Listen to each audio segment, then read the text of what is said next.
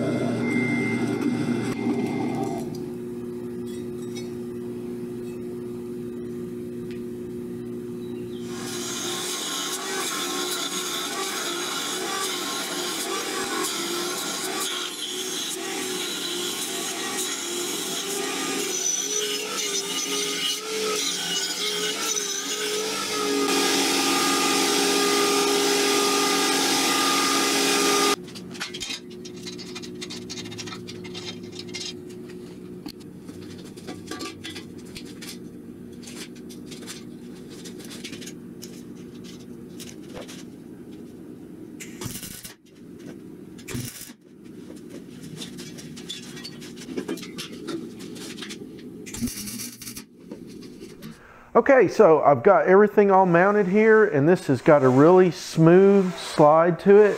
There's no binding and it just, it feels really good. It doesn't take hardly any effort to move this.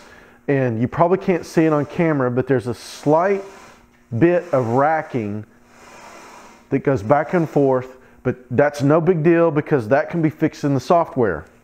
And I've also got the motor plate finished. I've got all the holes drilled for the stepper motor and the timing belt pulleys.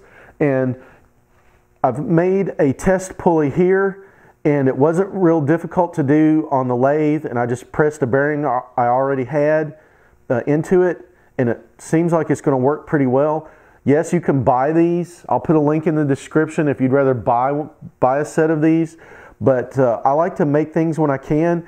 Um, to me, it's more fun to make it than it is to go out and buy it. And plus, it keeps my uh, maker skill sharpened. You know, uh, if I'm if I'm making stuff, you always learn something. You know, you figure things out. So I'm going to make these instead of buy them.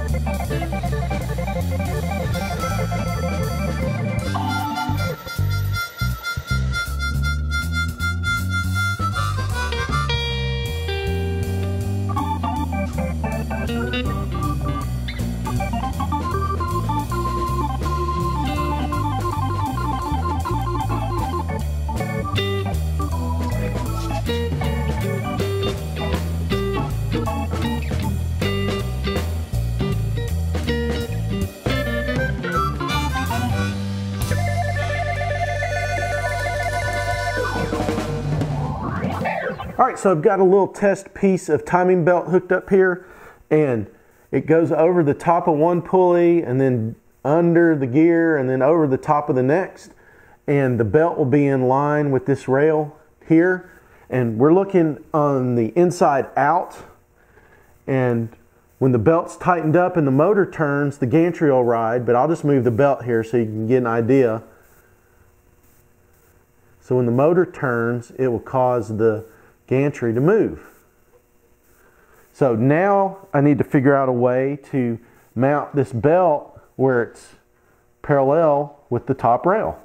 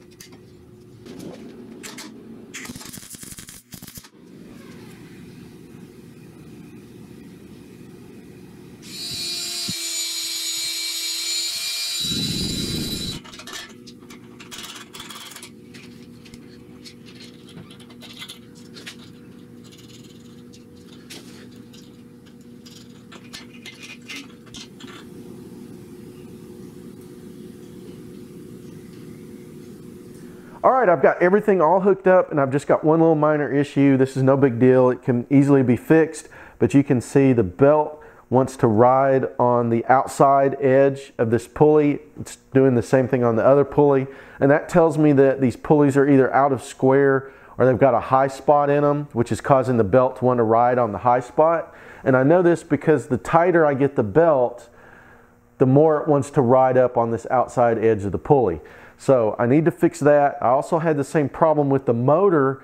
Uh, the, the pinion gear on the motor was doing the same thing. The belt wanted to ride on the outside. So I put some shims up here on the top to kind of offset that and that has fixed the problem. So more than likely these are not uh, in square either and that's why it's riding up on the edge. I hope you liked the video. If you did, please give me that big thumbs up. And if you're not a subscriber, please consider subscribing. Also hit that bell so you don't miss any upcoming videos. And thanks for watching.